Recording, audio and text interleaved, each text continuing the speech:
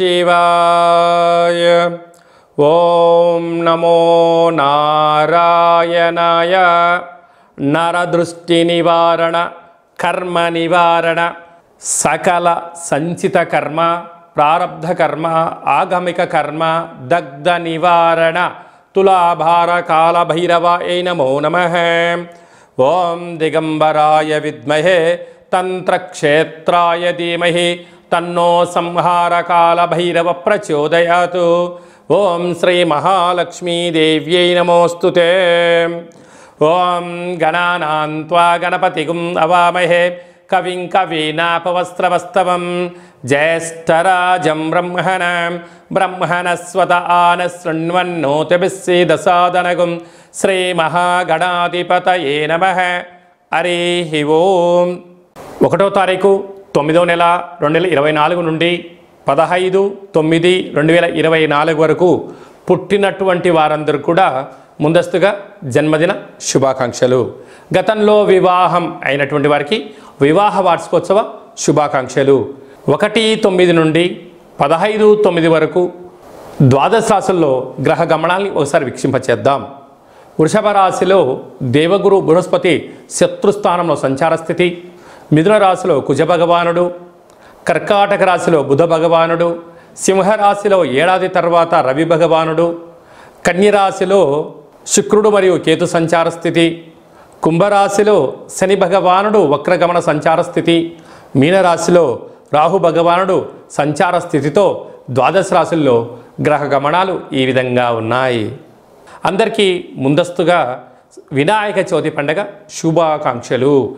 వినాయకుడు అనగానే అవిఘ్నములను తొలగించి ఐశ్వర్యాన్ని ప్రసాదించేటువంటి భగవంతుడు కనుక ఆది పూజ్య మహాగణాధిపతి. అంటే ఏ పూజను మనం ప్రారంభించాలనుకున్నా పసుపుతో చేసిన గణపతి స్వామికి మనం పూజ చేసుకుంటూ ఉంటాం. భాద్రపద మాస శుద్ధ చవితి వినాయక జయంతి సందర్భంగా గణపతి స్వామి యొక్క ఆశీస్సులు మనందరిపైన ఉండాలని కోరుకుంటూ కైలాసనాథుడి యొక్క సుపుత్రుడి యొక్క ఆశీస్సులు మనందరిపైనను చూపిస్తూ ఎవరికి ఎలాంటి కష్టాలు లేకుండా అందరికీ విద్య విజ్ఞానము ఉద్యోగము వివాహము సంతానము రాజయోగము రాజభాగ్యము రాజభోగము ఆనందయోగము ఎవరికి ఏవేవి కావాలో అన్ని ప్రసాదించే శక్తి ఆ విఘ్నేశ్వర స్వామి వారికి ఉంది. కనుక అందరిపైనను గణపతి స్వామికి ఆశీర్వాదాలను కోరుకుందాం. దయచేసి వినాయక చవితి రోజు సాయం సంధ్యాకాల సమయంలో ఎవరు దయచేసి ఆకాశంలో ఉండబడినటువంటి చంద్ర భగవాను ఎవరూ దర్శించవద్దు. కారణం ఏమిటనగా మన కృష్ణ పరమాత్ముడు పాలలో గ్లాసులో చంద్ర భగవాను యొక్క దర్శనమైనందుకు ఆ సంవత్సరాంతము అనేక రకాలుగా చెయ్యనటువంటి నిందలను పడి అనేక రకాలుగా ఇబ్బందులకు గురయ్యాడు అని చెప్పి మనకు అనేక రకాల పురాణాలు చెప్తూ ఉన్నాయి. కనుక దయచేసి మనం ఎవరము కూడా చూడకుండా ఉండే ప్రయత్నం చేయండి. పరిస్థితుల ప్రభావం చేతనో ఏదో పరిస్థితుల ప్రభావం చూసినట్లయితే దగ్గరగా ఉండబడినటువంటి గణేశ స్వామివారి యొక్క మండపం దగ్గరికి వెళ్ళి అక్షంతలు వేసుకొని స్వామివారికి మనసారా దండం పెట్టుకోగలిగినట్లయితే ఆ యొక్క చంద్ర దర్శన దోషం తొలగిపోతుందని చెప్పి గమనించగలగాలి.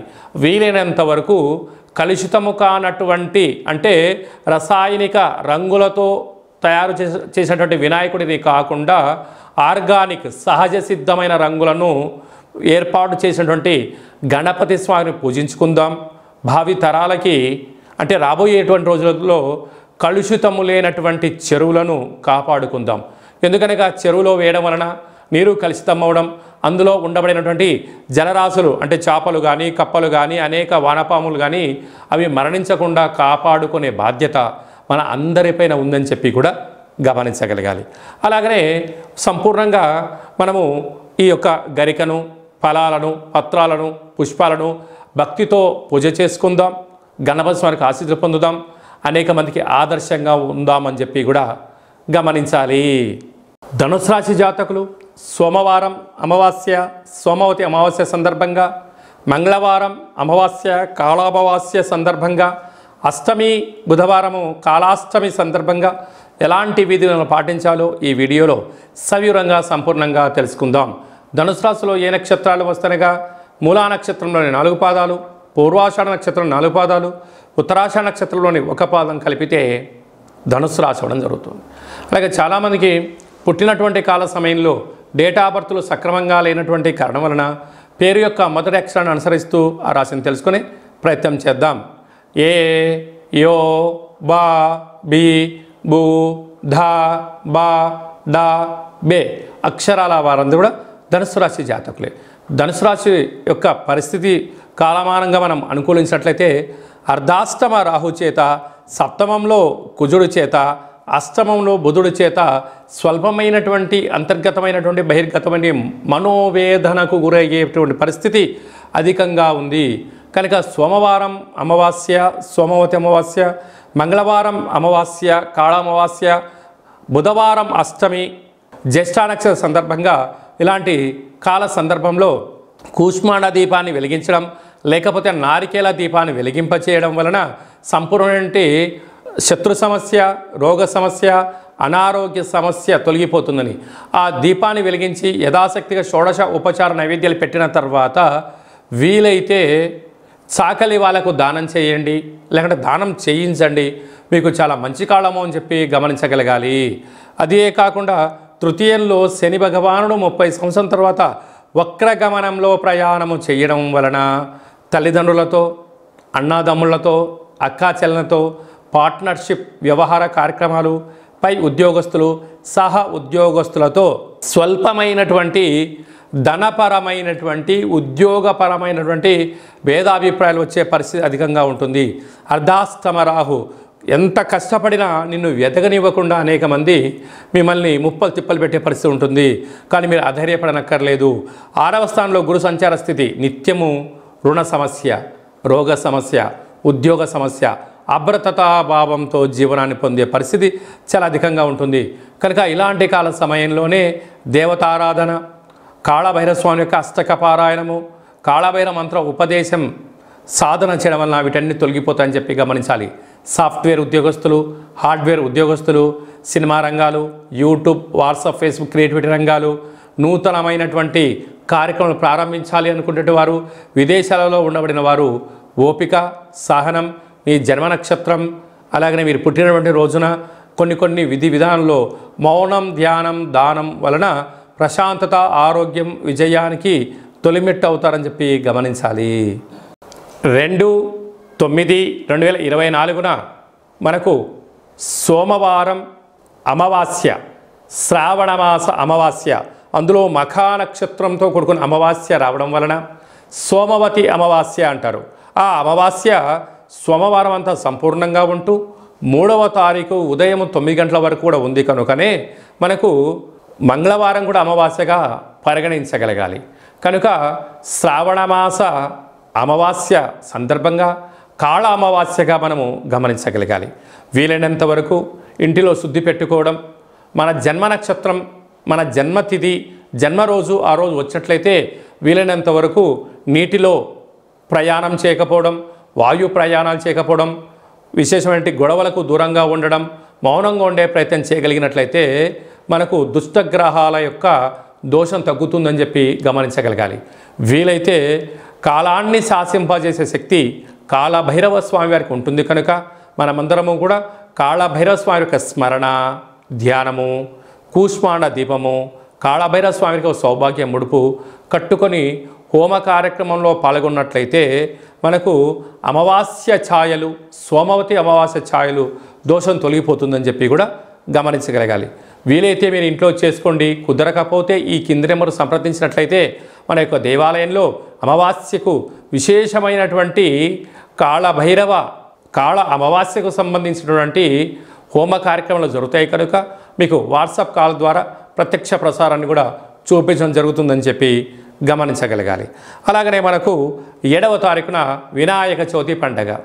కనుక మనమందరము కూడా ఆది పూజ్య మహాగణపతి స్వామివారి యొక్క పూజా కార్యక్రమాలని యథాశక్తిగా మనకు ఎంత శక్తి కలిగితే అంత శక్తిగా స్వామివారిని పూజ చేసుకుందాం. కలుషితం లేనటువంటి రంగులు లేనటువంటి రసాయనం లేనటువంటి వినాయక స్వామిని పూజి పూజిద్దాం. స్వామివారికి అటుకులు బెల్లము ఉండ్రాళ్ళు లడ్డూ నైవేద్యాన్ని ఏర్పాటు చేసుకుందాం. స్వామివారి యొక్క ఆశీస్సుల కోసం మనం అన్ని విధాల మానవ ప్రయత్నం చేద్దాం. దయచేసి చంద్ర భగవాను దర్శించవద్దు అని చెప్పి మీరు గుర్తుపెట్టుకోగలిగారు. అలా విధి లేని పరిస్థితిలో దర్శించినట్లయితే ఈ కింది నెంబర్ సంప్రదించి మీ గోత్రనామాలు పంపించినట్లయితే ఆ యొక్క దోష నివారణకు మన యొక్క దేవాలయంలో ప్రత్యేకంగా పూజ చేయించి మీకు గరిక అక్షంతలు కంకణాన్ని పంపించడం జరుగుతుంది కనుక దయచేసి వందకు వంద శాతం ఎవరు చూడవద్దు. తెలియని పరిస్థితిలో చూసినట్లయితే ఈ కింద సంప్రదించండి. మీకు మంచి సలహా సూచన ఇచ్చి అష్ట కష్టాలకు మనము కేంద్ర బిందువు కాకుండా అష్ట ఐశ్వర్యం స్వాగతం పలకడానికి ఏమేం కావాలో సలహాలు సూచనలు ఇవ్వడం జరుగుతుందని చెప్పి గమనించాలి. అలాగనే మనకు పదకొండవ తారీఖు భాద్రపద మాస శుద్ధ అష్టమి బుధవారము జ్యేష్ఠ నక్షత్ర సందర్భము. ఇది చాలా ఒక పద్దెనిమిది సంవత్సరాలకు ఒకసారిగా వచ్చేటువంటి బుధవారము జ్యేష్ఠ నక్షత్రము అందులో అష్టమి తిథి రావడము అంటే వినాయకుడికి ఇష్టమైన రోజు బుధవారము బుధుడి యొక్క నక్షత్రము జ్యేష్ఠ నక్షత్రము. అందులో అష్టమి తిథి రావడం అనేది చాలా అరుదుగా వస్తుంటుంది. కనుక మనం అందరము కూడా తంత్ర వరసిద్ధి మహాగణపతి స్వామి యొక్క పూజ చేసుకున్నట్లయితే వీలైతే ఎక్కువ మంత్రాన్ని స్మరణ చేసి ఏదైతే మనం కోరుకుంటామో దాన్ని విజయం సాధించడం జరుగుతుందని చెప్పి గమనించగలగాలి. మంత్రాన్ని చెప్తాను ఒకసారి నోట్ చేసుకోండి. ఓం శ్రీం హ్రీం క్లీం గ్లౌం గం గణపతయే వర వరద సర్వ కార్యం. అంటే మనం ఏదైతే కార్యం అనుకుంటున్నామో ఆ కార్యం పేరు అనుకొని వశమానయ స్వాహ. అనేటువంటి మంత్రాన్ని ఒక ఇరవై ఏడు సార్లు తగ్గకుండా రోజుకు ఒక నూట ఎనిమిది సార్లు ఈ మంత్రాన్ని ఉచ్చరింప చేయగలిగినట్లయితే మనకు కష్టాలన్నీ తొలగిపోయి ఐశ్వర్యానికి స్వాగతం పలుకుతూ ఆ పని మనకు ఆ అనుకూలించేటువంటి విధంగా తంత్ర తాంత్రిక వర కాల విఘ్నేశ్వర స్వామి యొక్క ఆశీస్సులు మనపైన ఉంటాయని చెప్పి కూడా గమనించాలి. ఈ విధంగా మనమందరము కాళభైర స్వామి యొక్క ఆశీస్సులు పొందుతాం. విఘ్నేశ్వర స్వామి యొక్క ఆశీస్సులు పొందే మానవ ప్రయత్నం చేద్దాం. ఇంకను ఈ యొక్క భాద్రపద మాసంలో మనం విజయం సాధించగలగాలి అన్నట్లయితే ఒక్కసారి ఈ పాత్రను చూసినట్లయితే యొక్క పాత్ర కంచు పాత్ర కాళభైరవ స్వామికి అక్షయ పాత్ర అని చెప్పి గమనించగలగాలి. ఈ యొక్క అక్షయ పాత్రను మనం ఎలా సద్వినియోగపరచుకోవాలో ఒకసారి చూద్దాం. ఇలా ఒకసారి శబ్దం చేసినట్లయితే ఈ పాత్రలోంచి ఓంకార శబ్దం రావడం జరుగుతుంది.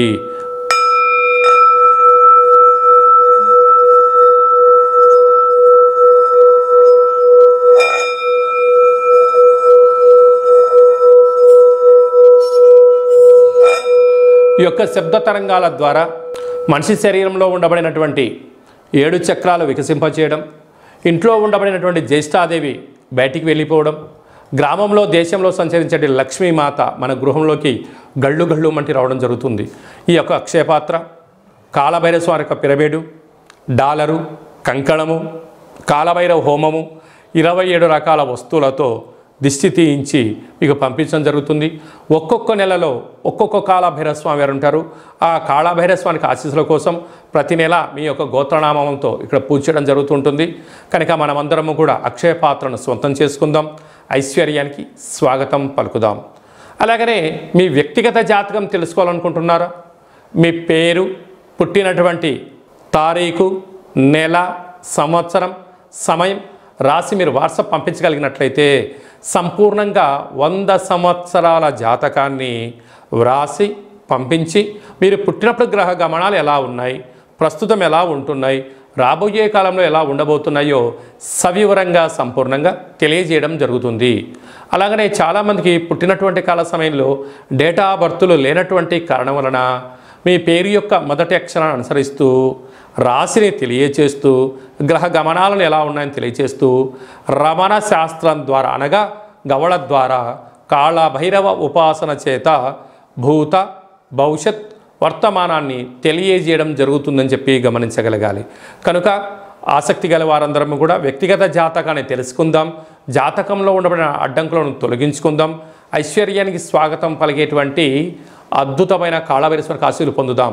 కనుక వ్యక్తిగత జాతకం తెలుసుకోవాలి అనుకుంటున్న వారందరూ కూడా ఈ కింది నెంబర్ని ఆన్లైన్ ద్వారా కానీ ఆఫ్లైన్ ద్వారా కానీ వాట్సాప్ ద్వారా కానీ సంప్రదించి అపాయింట్మెంట్ తీసుకొని సంప్రదించగలరు. మీ యొక్క జాతకాన్ని సవివరంగా సంపూర్ణంగా తెలియచేస్తూ మన యొక్క దేవాలయంలో కాళభైరవ హోమం జరిగినప్పుడు జాతకం చెంపించుకుంటున్న ప్రతి అందరికీ కూడా ఒక వీడియో కాల్ ద్వారా కాళభైరవ స్వామికి చూపించి ఆశీస్సులు కోసం ప్రయత్నం చేయడం జరుగుతుందని చెప్పి కూడా గమనించగలగాలి.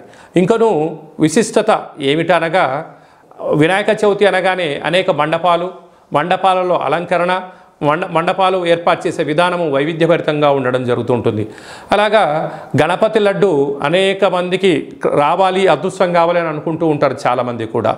అలాంటి వారందరూ కూడా గతంలో లడ్డు కొన్న వారందరూ కూడా మన యొక్క దేవాలయంలో మీ పేరు నమోదు చేసుకున్నట్లయితే మీ యొక్క అంటే మన గ్రామము మన పేరు మన మండపము ఏ సంవత్సరం మనం లడ్డు కొన్నాము అనేటువంటిది మీరు వివరాలు పంపించగలిగినట్లయితే గణపతి లడ్డు అనేటువంటి ఒక సర్వే మహోత్సవ కార్యక్రమం చేస్తూ ఉన్నాం. ఈ సంవత్సరం ఎవరైతే లడ్డు కొన్నారో వారందరికీ ఒక వేదికను ఏర్పాటు చేయడం జరుగుతూ ఉంటుంది. అనేక దేశాలలో కూడా లడ్డు వేలంపాట జరుగుతూ ఉంటుంది. అలాంటి వాళ్ళందరినీ ఒక ప్లాట్ఫామ్కి తీసుకొచ్చి ఒక ముఖాముఖి హిందూ ఆధ్యాత్మిక సమ్మేళన కార్యక్రమాన్ని చేయడం జరుగుతుంది. కనుక గత సంవత్సరంలో అంటే గత ఇరవై సంవత్సరాలుగా మీరు ఎక్కడ లడ్డు కొన్నా ఆ సంవత్సరము మీ పేరు గోత్రనామాలు రాసి మాకు పా వాట్సాప్ పంపించగలిగినట్లయితే ఆ సంవత్సరం లడ్డు కొన్నటువంటి వాళ్ళందరినీ కూడా ఒక వేదికపైకి తీసుకొచ్చి హిందూ ఆధ్యాత్మిక లడ్డు మహోత్సవ సమ్మేళనాన్ని ఏర్పాటు చేస్తున్నాం. కనుక గణేష మండపాల వారు గతంలో లడ్డు కొన్నవారు ఈ కిందను సంప్రదించి మీరు మీ పేరు నమోదు చేసుకోగలిగినట్లయితే మీరు గతంలో లడ్డు కొన్న ఇప్పుడు లడ్డు కొన్న ప్ర- ప్ర- ప్రపంచానికి మిమ్మల్ని పరిచయం చేయడమే అంటే ఆన్లైన్లో ఆఫ్లైన్లో మన హిందూ ధర్మాన్ని యొక్క వేదికను బలోపేతం చేస్తూ అంత అంద చెయ్యి చెయ్యి కలుపుకొని ముందుకు తీసుకెళ్ళే ఒక ప్రయత్నం చేయడం జరుగుతుంది. కనుక మీరందరూ కూడా గణపతి స్వామివారి యొక్క మండపం యొక్క వివరాలు లడ్డు కొన్న వివరాలను ఈ కింది నెంబర్ని సంప్రదించగలిగినట్లయితే మనమందరము కూడా మిమ్మల్ని అందరి ఆన్లైన్లో కోటి నైన్ విఘ్నేశ్వర లడ్డుకు సంబంధించిన సర్వే కార్యక్రమాలు జరుగుతూ ఉన్నాయి. మనమందరం సర్వేలో పాల్గొందాం. లడ్డు కొన్న వారందరినీ ఒకే చోట చేరుద్దాం. వారి యొక్క సలహాలు సూచనలు తీసుకుందాం. రాబోయే కాలంలో మనందరం కూడా లడ్డు కొని గణపతి స్వామికి ఆశీస్సులు పొందుదాం. అలాగనే మీ అబ్బాయి కానీ అమ్మాయి కానీ ఎంత ప్రయత్నం చేసినా వివాహం అవ్వడం లేదా? మీ అబ్బాయి యొక్క పుట్టినటువంటి కాల సమయంలో గ్రహ గమనాల్లో ఎలాంటి యోగాలు ఉన్నాయి? ఎలాంటి దోషాలు ఉన్నాయో తెలుసుకొని ప్రయత్నం చేసినట్లయితే మంచి సంబంధాలు రావడం జరుగుతుంటుంది వచ్చేటి వధువు కానీ వరుడు కానీ జాతకంలో గ్రహమైత్రి జంతుకూటమి గ్రహకూటమి ఎలా ఉంటుంది?